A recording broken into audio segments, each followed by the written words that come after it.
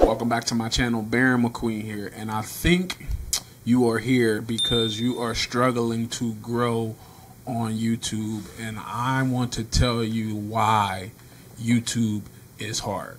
Let's get into the video.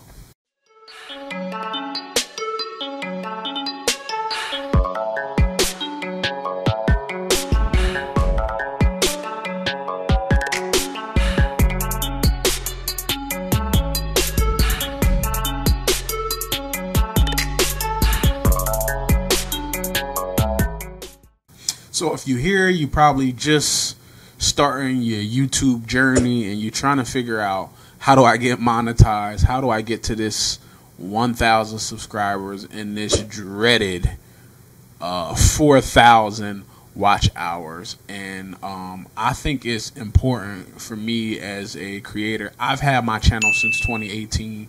I actually did nothing with the channel, and now I am on this journey. So you are not alone I'm in this journey with you. Um, but the toughest thing about the YouTube thing is you have to actually start. you got to start putting out content. For me, I was putting out a video every week, and I would see a subscriber here, three subscribers here, five subscribers here.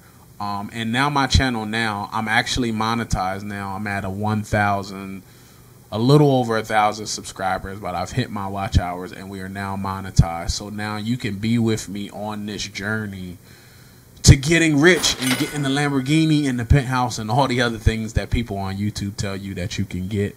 Um, but the thing is, you just have to start. Um, I feel like most people won't even just sit down, look into the camera, and share their story, who they are, and why they even want to do this YouTube thing. For me personally, I've always wanted to be a YouTube creator, um, especially I'm in the personal branding space and I always tell my clients yo you just got to turn the camera on and you got to get on these social platforms and tell people you who you are. Like they'll buy from you the person before they buy from the logo right? So don't hide behind the logo and really get out there. And me I probably struggle with man, I'm doing all this content. I think right now at the time of this video, I have already put out maybe over a hundred videos.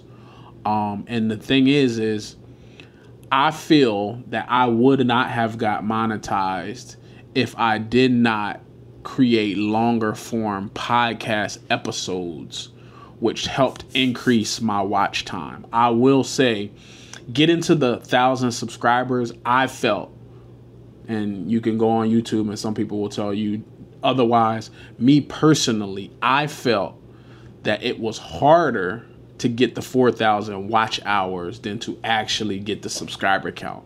So once I got to my subscriber count, I'm like, okay, I got a thousand subscribers. I think I was at maybe 1,500 watch hours. And I'm like, all right, man, I'm almost there. I'm a little less than halfway to go. And then we can get to this 4,000. And it took forever the thing that changed it for me is I started having these sit down interviews for my podcast called Everyday Game Changers. And why I think this is what helped me get to monetization faster was because my episodes were literally 30 minutes to an hour long. So if somebody actually sat there and watched through, let's say I did 55 uh, podcast episodes then I it helped me get to my 4,000 watch hours a lot longer than if I was just doing this right here. These short form, uh, well, these would be considered long form content. So I strategically, when I wanted to do this long form content in the beginning, I felt like I struggled to try to get to the eight minutes worth of content that people say you needed on YouTube. Like, yo, you don't want to do a video that's less than eight minutes. You want to at least get to eight minutes because that looks good for ads and this. Um, and I think part of the reason why people struggle with starting on this YouTube journey is I got a key light here. I got a fill light here. You see my hand right there. I got a nice blue background. I got some props in the back.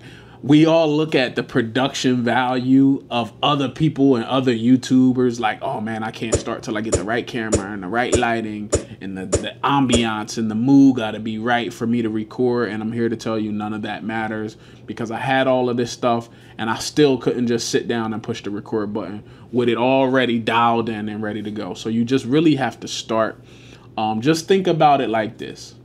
If you start today, you are getting closer to becoming full time versus if you keep on waiting for the perfect opportunity and the perfect ring light and the perfect camera and the perfect microphone. This is literally a $85 mic, but it came as a two pack and I just put a foam on it just so I can give you guys clean audio.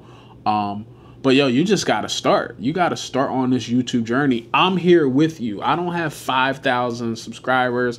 I don't have uh, millions of views on YouTube. I'm going through this journey with you and I'm documenting it. So I'm to tell you um, do not give up when you get to the, oh man, I got a thousand subscribers, but I didn't get to my 4,000 watch hours. It is hard. Being a YouTuber is hard. It's hard for people to start seeing your stuff. But if you don't put it out, nobody's ever going to find you.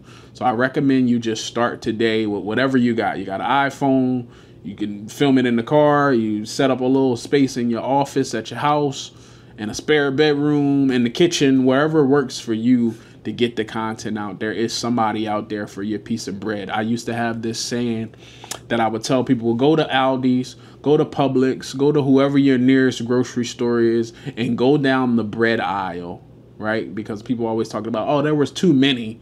There's always too many of something. So go down the bread aisle and I want you to count how many different types of bread are in the bread aisle, right? Got a rye bread, got a wheat bread, got a potato bread, you got a sourdough bread, you got a bagel, you got a raisin cinnamon, you got all these different bread. These people are all still in business, but they have to find the right person for their piece of bread. So when you're on this YouTube journey, you have to find somebody for your piece of bread. Most people say, yo, you should just niche down into dog walkers or you should just niche down into I've heard some of the craziest niches. But rather than just saying you need to niche down, you just need to kind of just start, right? You need to introduce yourself to a viewership and talk to them about what you like to talk about on the channel. I'm a personal branding guy. You're going to hear personal branding on my channel. You're going to hear PR because I own a PR agency. You're going to hear marketing. You're going to hear social media tips. And you're going to hear this YouTube content that I'm going to be giving you about the YouTube journey. And it's a no fluff, uh, hey, I'm I make ten thousand dollars a month on YouTube. I haven't even seen a two hundred dollar month yet um, from YouTube since being monetized, but I haven't been consistent putting out content either. And today that changes for me and it can change for you today as well. So, welcome on this journey. What I want to tell you the fastest way to get monetized on YouTube is to I, I, don't know if you've been waiting this long for this big reveal, but the big reveal is drum roll, please to be successful on YouTube and to get monetized quickly is you have to put out content, put out shorts, put out long form, put out vlogs. You just have to put content out because YouTube is going to be trying to find an audience for this content you put out. That's what YouTube is for. So if you don't put out any content, you're not going to grow any audience. So um, I want to thank you for coming. I'm on this journey with you. Make sure you like, comment, subscribe, hit that notification bell so you never miss an episode. And I'm going to keep giving you guys some of this YouTube journey or things that I'm learning as I'm going through it with you. So you're not in this alone. Barion McQueen, I'll see you on the next episode.